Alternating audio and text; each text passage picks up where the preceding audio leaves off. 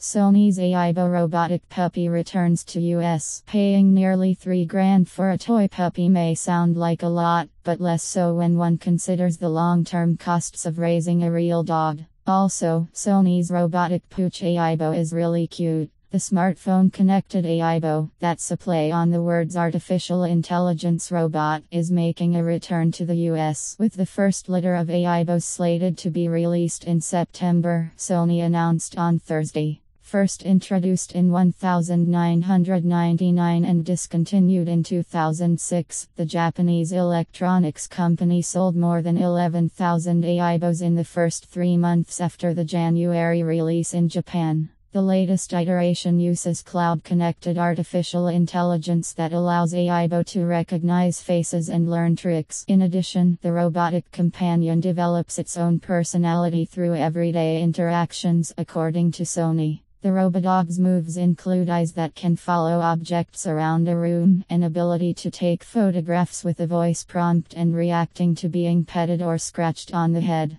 The product was designed to connect with its owners on an emotional level. Mike Fasulo, President and Chief Operating Officer of Sony Electronics North America, said in a news release Aibo's charming personality, dog like behaviors, and ability to intelligently interact with family members help to create a personal bond. As part of its suggested 2,899 retail price, the pup comes with paw pads, an Aibone, a pink ball, and a charging station, which Sony said the robot knows how to get to after playtime. If that price tag seems high, the cost of owning a small dog with a 15 year life expectancy by one estimate comes to just over 15,000, making Sony's offering a bargain by comparison. And Aibo doesn't need any early morning walks and the cleanup duties they entail. Based on the materials of the site,